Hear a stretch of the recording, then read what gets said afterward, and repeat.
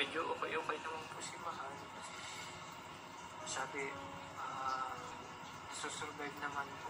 Mga ilang oras lang din po. Mga oras, ilang oras lang din po. Ah, nagsabi nga po yung doktor na ah, 50-50 na nga po si Mahal. At that time po kasi, lutang na ako, hindi ko na po alam kung ano yung mga mangyayari na ayoko po mag-isip ng negative eh.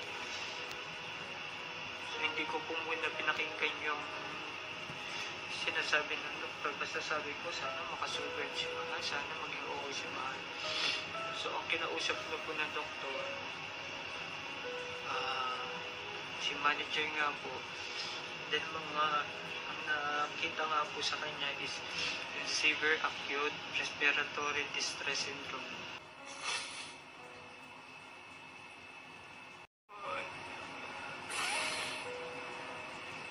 Alam ko na masaya ka na ngayon kasama mo si Mama dahil sabi mo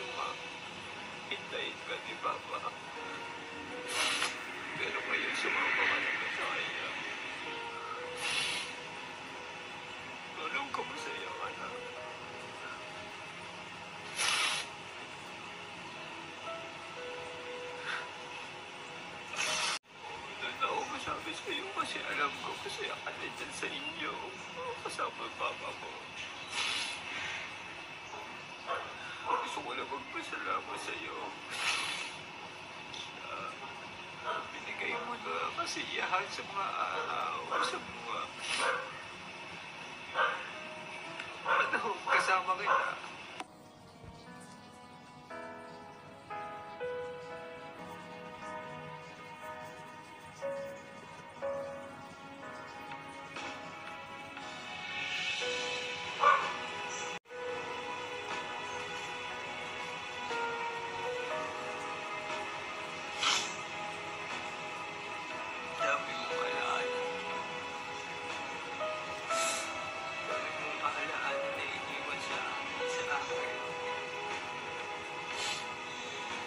Kakayanin natin ito.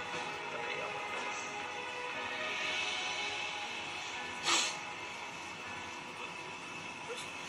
Salamat.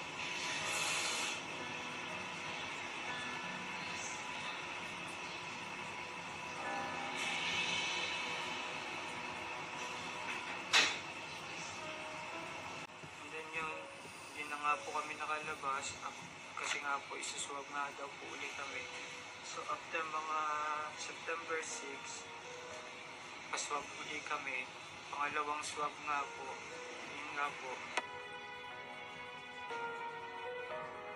Ko po nga po. ah, negative po. And then, tumawag po ako sa LGU kung pwede nga po na ah, makalabas po para mag-asikaso nga po. So hindi nga po ako pinayagan ng LGU